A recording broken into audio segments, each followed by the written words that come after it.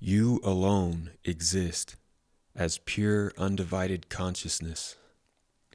The world is not real because there is nothing outside of your consciousness, which means the elements are only consciousness.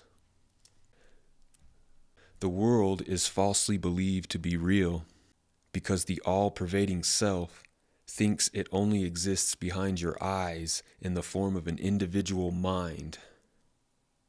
That's why, when it's discovered through self inquiry that the mind doesn't exist, pure consciousness is then revealed. It's as if a movie projector falsely believes itself to be a character in the movie it projects. And as a result, the movie world is believed to be real by the projector. I've been comparatively studying Ramana Maharshi and Adi Shankara quite a bit lately, and I feel that this paragraph, along with the analogy that accompanies it, sums up the message that I've gleaned from my studies that I want to share with you. In the following talk, I'll explain in my own words this summary of my dear Guru's teachings. In the realm of Eastern wisdom, there are two common and similar statements given with regard to the nature of reality. They are the world is mind and the universe is only consciousness. These two statements mean slightly different things.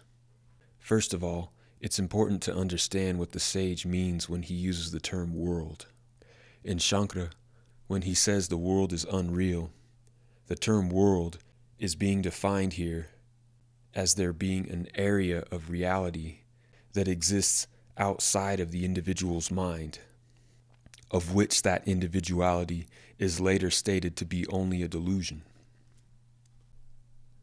But in this first statement, the world is mind, the term world is best defined by the opening verse in the Tao Te Ching, where Lao Tzu says, naming, the mother of 10,000 things.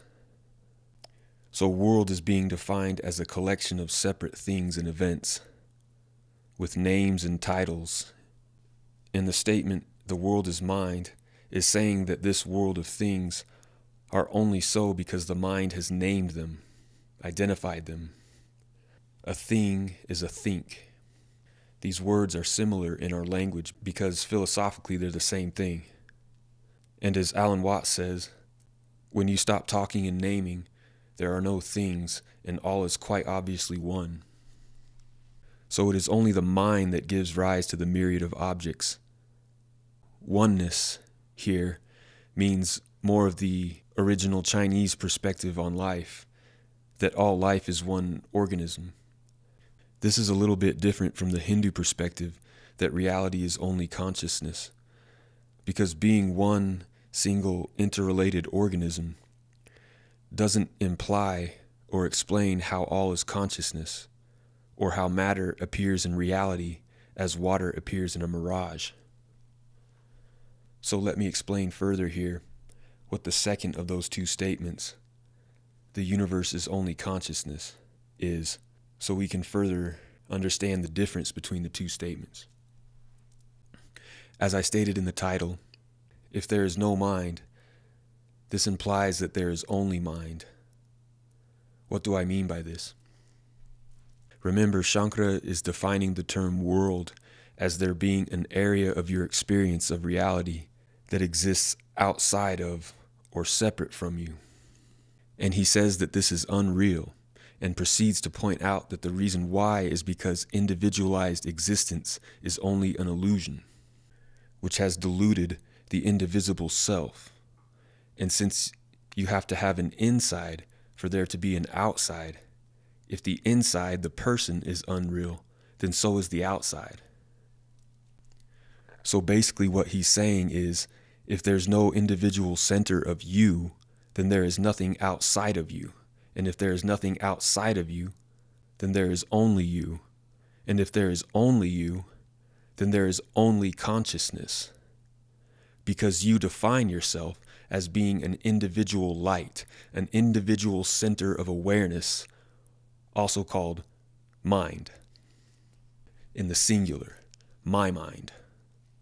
So if that individual center of awareness, that individual mind, is not there, as Ramana Maharshi points out, if that light is centerless, then there is only that light, and matter and space are not real. Simply put, if there is no individual mind, there is only mind. Conversely, if the delusion of individual mind, consciousness, is there, then the delusion that the universe is something other than consciousness, namely matter, time, and space, is there.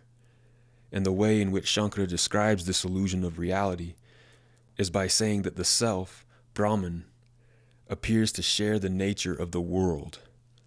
This is a key thing to remember in comprehension of Shankara. The statement that the world appears to be real means the same thing as the statement that Brahman, the self, appears to share the nature of the world.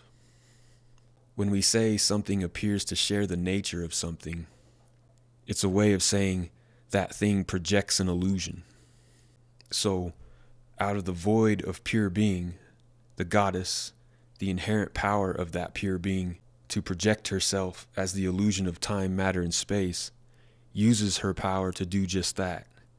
And she is then deluded, that is, convinced that her own illusion of time and space is real, by the primary delusion that she is an individual soul or mind.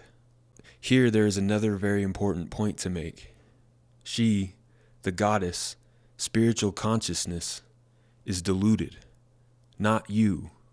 Remember, you are just a thought, an object of consciousness, a phenomena that is seen, inert. A thought can't be deluded.